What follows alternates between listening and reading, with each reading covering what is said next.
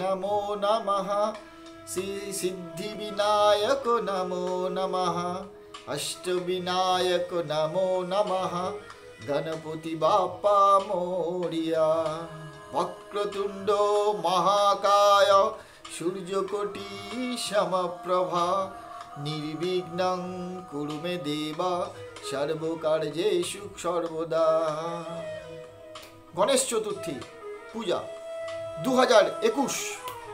কখন মুহূর্তগুলো শুরু হচ্ছে সেই নিয়ে আজকের আলোচনা করব। গণেশ চতুর্থী অর্থাৎ চতুর্থীতে শুরু হয়। ভাদ্র মাসের শুক্লপক্ষের চতুর্থীতে যে পুজো হয় সেটা হচ্ছে গণেশ চতুর্থী পূজা। গণেশের জন্মদিন এই দিন। ভগবান গণেশ এই দিনেই জন্মগ্রহণ করেছিলেন। তো হ্যাপি বার্থডে টু ভগবান শ্রী গণেশ জি এবারে জেনে নেওয়া যাক এই বছর কখন গণেশ চতুর্থী পড়েছে? এবছর গণেশ চতুর্থী পড়েছে নয় সেপ্টেম্বর দু হাজার একুশ রাত আড়াইটা বাজে যখন, তখন শুরু হবে। অর্থাৎ নয় সেপ্টেম্বরের বৃহস্পতিবারের রাত হয়ে যখন দুটো বাইশ বাজবে, তখন শুরু হচ্ছে গণেশ চতুর্থী। দশই সেপ্টেম্বর, অর্থাৎ শুক্রবার দু হাজার একুশ সালের দশই সেপ্টেম্বর, শুক্রবারে গণেশ চতুর্থীটা সারা দিন থাকবে। আপনারা সারা দিন গণেশ চতুর্থী মানাতে পারবেন। এবং রাত বারোটা বেজে বাইশ মিনিটে গণেশ চতুর্থী যে মুহূর্তটা, সেটা শেষ হচ্ছে। অর্থাৎ সারা দিন আপনারা গণেশ চতুর্থী পালন করতে পারবেন। আর এটা শেষ হচ্ছে, আপনারা জানেন যে উনিশ তারিখে শেষ হচ্ছে। উনিশে সেপ্টেম্বর দু হাজার একুশ।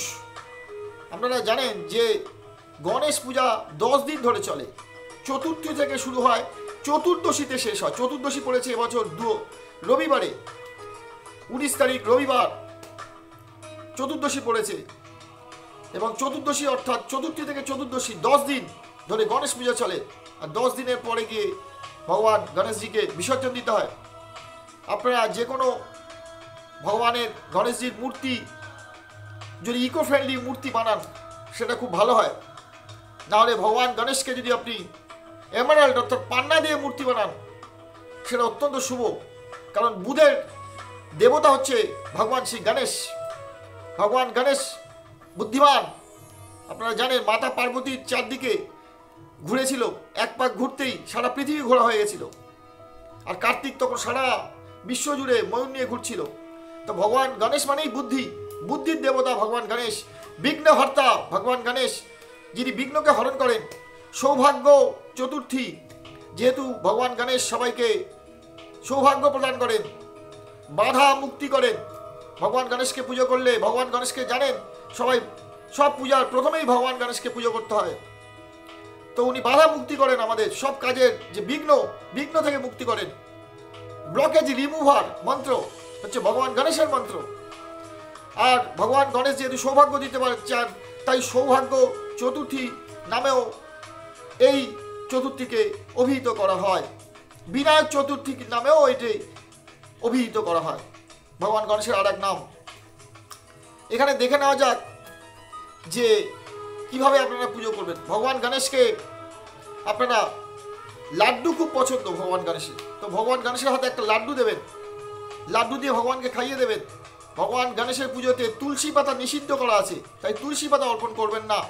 কিন্তু ভগবান গণেশকে অবশ্যই আপনি লাড্ডু খাওয়াবেন নিজের হস্তে, নিজে তৈরি করা লাড্ডু হলে খুব ভালো হয়, সারাদিন উপবাস থাকবেন এবং অবশ্যই ভগবানকে পুজো করবেন, ভগবানকে পঞ্চামৃত দিয়ে পুজো করাবেন।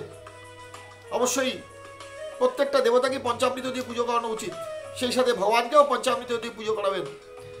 ভগবানের কাছে নিজের মনস্কামনা জানাবেন, যে ধরনের আপনি পাথরের ভগবানকে মূর্তি বানাবেন, যে ধরনের মূর্তি আপনি যে রঙের বানাবেন সেই রকম কার্যসিদ্ধি ভগবান আপনাকে দেবে।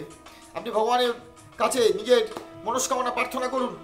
ভগবান শ্রী গণেশ আপনার সমস্ত কার্যে সিদ্ধি দেবে, সমস্ত বাধা দূর করে দেবে। আপনার জীবনে যত বাধা আছে, সব দূর করতে পারেন ভগবান শ্রী গণেশ। আসুন ভগবানের বন্দনা করি। ওং বক্রতুণ্ড মহাকায় সূর্যকোটি সমপ্রভা। নির্বিঘ্নং কুরুমে দেব, সর্বকার্যেষু সর্বদা ওম গঙ্গনপতয়ে নমো নমঃ। শ্রী সিদ্ধি বিনায়ক নমো নমঃ। অষ্টবিনায়ক নমো নমঃ। গণপতি বাপ্পা মোরিয়া। আপনারা জানেন সিদ্ধি বিনায়ক মন্দিরে, মহারাষ্ট্রে যেখানে সিদ্ধি বিনায়ক মন্দির আছে, সেখানে বিশেষ পুজো করা হয় এই দিনটাতে। ভগবান গণেশের সব থেকে বড় জায়গা, পুজোর জায়গা হচ্ছে সিদ্ধি বিনায়ক মন্দির, যেটা মহারাষ্ট্রে অবস্থিত। オンガンガネバタイナモンガネバティバッパーモーリア